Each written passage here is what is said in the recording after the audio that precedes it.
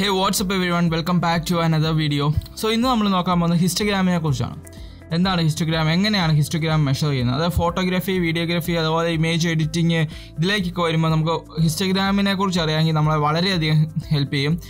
Light room നമ്മൾ editing tutorial താമസിക്കാതെ തന്നെ തുടങ്ങും. അപ്പം ലൈറ്റ് റൂം തുടങ്ങുന്നതിന് മുമ്പ് നമ്മൾ ഹിസ്റ്റഗ്രാമിനെ കുറിച്ച് കുറച്ച് കാര്യങ്ങളൊക്കെ അറിഞ്ഞിരിക്കുവാണെങ്കിൽ വളരെ നല്ല രീതിയിൽ നമ്മുടെ ഇമേജസ് എഡിറ്റ് ചെയ്യാൻ പറ്റും.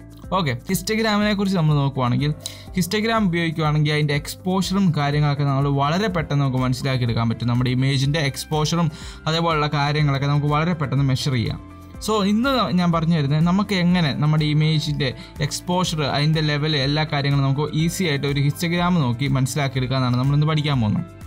So without any further ado let's get started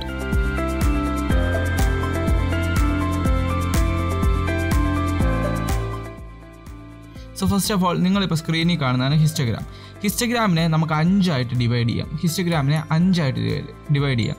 the left most part എന്ന് പറയുന്നത് ബ്ലാക്സും ആൻഡ് റൈറ്റ് മോസ്റ്റ് പാർട്ട് എന്ന് പറയുന്നത് വൈറ്റ്സുമാണ് ഇതിനൊക്കെ ഇടയ്ക്ക് വരുന്നതാണ് ഫസ്റ്റ് ഓഫ് ഓൾ ബ്ലാക്ക്സ് പിന്നെ shadows mid tones highlights whites ഇങ്ങനെ അഞ്ചായിട്ട് നമുക്ക് ഹിസ്റ്റഗ്രാമിനെ ഡിവൈഡ് ചെയ്യാം. ഫോ സോ ആ അഞ്ചായിട്ട് ഹിസ്റ്റഗ്രാമിനെ ഡിവൈഡ് ചെയ്യുമ്പം ഈ നമുക്ക് വേവ് ടൈപ്പ് രീതിയിൽ നമുക്ക് കുറേ ഡീറ്റെയിൽസ് നമുക്ക് അവത്തെ കാണാം. അത് വെച്ചാണ് നമ്മൾ എക്സ്പോഷർ നമ്മൾ ഹിസ്റ്റഗ്രാമിൽ മെഷർ ചെയ്യുന്നത്. സോ ഫസ്റ്റ് ഓഫ് ഓൾ നമുക്ക് ആദ്യത്തെ ഹിസ്റ്റഗ്രാം ചെക്ക് ചെയ്യാം. സോ ഇപ്പം നിങ്ങൾ കാണുന്ന ഹിസ്റ്റഗ്രാം കാണുമ്പോൾ നിങ്ങൾ മനസ്സിലാക്കണം അതിന്റെ വേവ് ഏറ്റവും ലെഫ്റ്റ് മോസ്റ്റ് പാർട്ടിലേക്കാണ് പോകുന്നത്. അതായത് ബ്ലാക്സിലാണ് ഏറ്റവും അധികം ഡീറ്റെയിൽസ് ഉള്ളത്. അത് കാണുമ്പോൾ നമുക്ക് മനസ്സിലാക്കാം നമ്മുടെ ഇമേജ് അണ്ടർ എക്സ്പോസ്ഡ് ആണ്. വളരെയധികം വെളിച്ചം കുറവാണ്. എക്സ്പോഷർ വളരെയധികം കുറവാണ്. സോ ഇങ്ങനെയുള്ള ഇമേജിന്റെ കുഴപ്പമെന്ന് വെച്ചാൽ പോസ്റ്റ് പ്രൊഡക്ഷൻ അതായത് നമ്മൾ വീണ്ടും എഡിറ്റ് ചെയ്യുമ്പോൾ അത് റിക്കവർ ചെയ്തെടുക്കാൻ വളരെയധികം ബുദ്ധിമുട്ടാണ്. രണ്ടാമത്തെ കാര്യം എന്ന് വെച്ചാൽ ഇത് അഥവാ നമ്മൾ റിക്കവർ ചെയ്തെടുത്ത് നമ്മുടെ ഫോട്ടോ എല്ലാം കിട്ടിക്കഴിഞ്ഞാലും വളരെ നോയ്സി ആയിട്ടുള്ള ഒരു ഫോട്ടോയെ നമുക്ക് കിട്ടത്തുള്ളൂ. പിന്നെ അതുകൊണ്ട് തന്നെ നിങ്ങൾ എങ്ങനെയാണെങ്കിലും അണ്ടർ എക്സ്പോസ്ഡ് ആയിട്ടുള്ള ഇമേജ് വരാതിരിക്കാൻ നിങ്ങൾ ശ്രമിക്കുക. എക്സ്പോസ്ഡ് ടു ദ ലെഫ്റ്റ് അതാണ് നമ്മളിപ്പോൾ കാണാൻ സാധിക്കുന്നത്.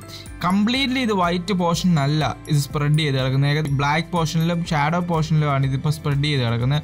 സോ ഇറ്റ്സ് നോട്ട് മറ്റ് മച്ച് അണ്ടർ എക്സ്പോസ്ഡ് അല്ല ബട്ട് ഏറ്റവും mostly exposed to the left കുഴപ്പമില്ലാത്ത രീതിയിൽ നമുക്കിത് എഡിറ്റ് ചെയ്ത് റിക്കവർ ചെയ്തെടുക്കാം. ബട്ട് ഇച്ചിരി ബുദ്ധിമുട്ടാണ്. പക്ഷേ കുഴപ്പമില്ല. അക്സെപ്റ്റബിൾ ആണ് ഈ ഈ ടൈപ്പിലുള്ള ഫോട്ടോസ് ഇനി നമ്മൾ എഡിറ്റ് ചെയ്യുമ്പോഴത്തേന് നമ്മൾ എഡിറ്റ് ചെയ്ത് ഇത് പുഷ് ചെയ്ത് ഏകദേശം ന്യൂട്രൽ ലെവലിലാക്കുവാണെങ്കിലും ഫോട്ടോസിൽ ഗ്രെയിൻസ് വരാൻ സാധ്യതയുണ്ട്.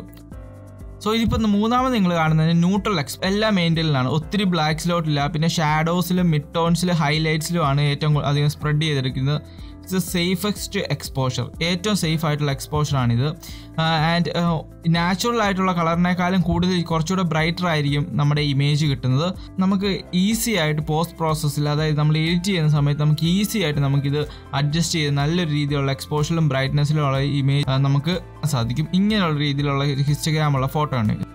സോ നിങ്ങൾ ഇപ്പോൾ കാണുന്നതെന്ന് വെച്ചാൽ എക്സ്പോസ്ഡ് ടു ദ റൈറ്റ് അതായത് വൈറ്റ്സിലേക്കും ഹൈലൈറ്റ്സിലേക്കാണ് ഏറ്റവും കൂടുതൽ എക്സ്പോസ്ഡ് ആയിട്ടുള്ളത്. സോ ഇത് വലിയധികം കുഴപ്പമില്ല. വളരെയധികം നോയ്സ് വളരെയധികം കുറയാൻ സാധ്യതയുണ്ട്. ഇതുപോലത്തുള്ള ഹിസ്റ്റഗ്രാമുള്ള ഇമേജ് ഉണ്ടെങ്കിൽ. പക്ഷേ കുഴപ്പം എന്താണെന്ന് വെച്ചാൽ നമ്മൾ എടുക്കുമ്പം ഇത് ഓവർ എക്സ്പോസ്ഡ് ആകാതിരിക്കാൻ ശ്രമിക്കുക.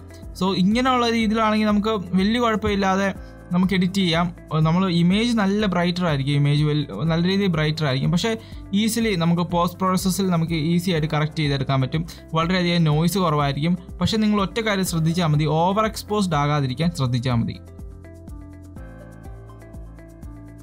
സോ ലാസ്റ്റ് ഹിസ്റ്റഗ്രാം ഇതാണ്. ഇതാണ് ഓവർ എക്സ്പോസ്ഡ് ഹിസ്റ്റഗ്രാം നിങ്ങൾക്ക് നോക്കുമ്പോൾ അറിയാം വൈറ്റ്സിലേക്കാണ് ഏറ്റവും കൂടുതൽ ഡീറ്റെയിൽസ് പോയിട്ടുള്ളത്.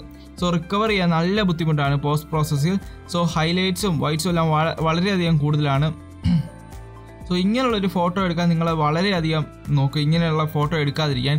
സോ അണ്ടർ എക്സ്പോസ്ഡും ഓവർ എക്സ്പോസ്ഡ് ആയിട്ടുള്ള ഫോട്ടോ നിങ്ങൾ എടുക്കാതിരിക്കാൻ വളരെയധികം ശ്രദ്ധിക്കുക. നമുക്ക് റിക്കവർ ചെയ്തിരിക്കാൻ ഭയങ്കര ബുദ്ധിമുട്ടാണ്. സോ ഇത്ര ഈ അഞ്ച് കാര്യങ്ങളാണ് അഞ്ച് രീതിയിലുള്ള ഹിസ്റ്റഗ്രാമാണ് നമുക്ക് ഏറ്റവും അധികം നമുക്ക് വളരെയധികം ഇമ്പോർട്ടന്റ് ആയിട്ടുള്ളത് സോ ഇത് നിങ്ങൾ ശ്രദ്ധിച്ചൊന്ന് മനസ്സിലാക്കി വെക്കുക. എങ്കിൽ നമുക്ക് ലൈറ്റ് റൂമിന്റെ അത് എഡിറ്റ് ചെയ്യുമ്പോഴാണെങ്കിലും ഫോട്ടോ എടുക്കുമ്പോഴാണെങ്കിലും ഹിസ്റ്റഗ്രാം ഉപയോഗിച്ച് നമുക്ക് ഈസി ആയിട്ട് നമുക്ക് ബ്രൈറ്റ്നസ്സും കാര്യങ്ങളൊക്കെ മെഷർ ചെയ്യാൻ പറ്റും. സോ ഇന്നത്തെ വീഡിയോ നിങ്ങൾക്ക് ഉപകാരപ്പെട്ടെന്ന് കരുതുന്നു. സോ ഗൈസ് പുതിയൊരു വീഡിയോ കാണുന്നോടം എല്ലാവർക്കും ബൈ